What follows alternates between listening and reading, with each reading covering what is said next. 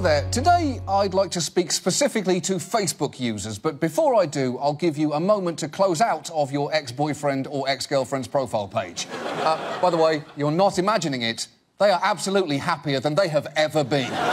so let's, let's begin. Let's begin. Now, for the, for the last few years, Variations on this privacy statement have been making the rounds on Facebook, uh, as many of you seem to believe that posting it prohibits Facebook from owning the content that you post.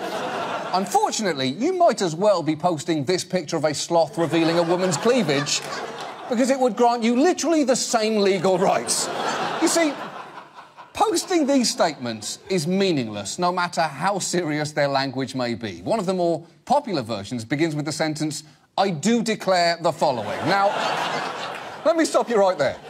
And this is important. Just because you say something in the voice of a southern debutante does not make it legally binding. I do declare, Mr. Beauregard, that status update about last night's episode of Scandal is mine. Mine alone. Mine alone. I do declare. I declare it. Other versions cite the Rome Statute, a treaty that established the International Criminal Court. So it's quite irrelevant to social media, although I will agree that posting too many pictures of your ugly baby should be a crime against humanity. But not only that, a few of the messages being shared misspell it as the Rome Statue. implying that your Facebook page is protected by Bernini's sculpture of David. And it's not. It's not. The point is, posting that message will accomplish nothing. But that's, that's not because wall posts don't override terms of service agreements or that Facebook doesn't own your content in the first place in the way the mainstream media would have you believe. It's because the only true way to protect your content on Facebook is by posting this video. Yes, the one that you are currently watching, starring me. John Perry Barlow is a former songwriter for the Grateful Dead and the joint founder of the Electronic Frontier Foundation, which lobbies for cyber rights.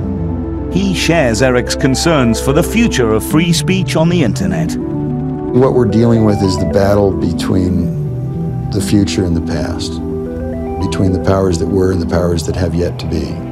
John believes the internet will change the world much like the Industrial Revolution did at the end of the 19th century. He has crafted his own Declaration of Independence for the citizens of cyberspace. Governments of the industrial world, I come from cyberspace, the new home of mind. On behalf of the future, I ask you of the past to leave us alone. You are not welcome here. You have no sovereignty where we gather. You do not know us, nor do you know our world.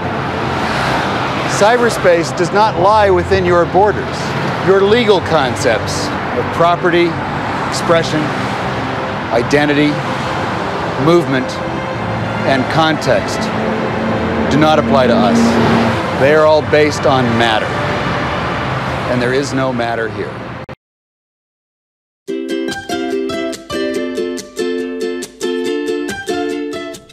Introducing the all-new Minds.com, making the desktop an app too. The newsfeed features inline videos, rich content, no need for page reloads, analytical insights into your past week's posts, and also Boost for the web too, including the all-new Boost Pro, which allows you to share your posts between channels for points or money. Every area of the site has been rebuilt from the ground up and offers a sleek and responsive design, such as channels, the brand new uploader, discovery, video plays, blogs, notifications, the wallet, and search. Check out the new Minds.com today at www.minds.com.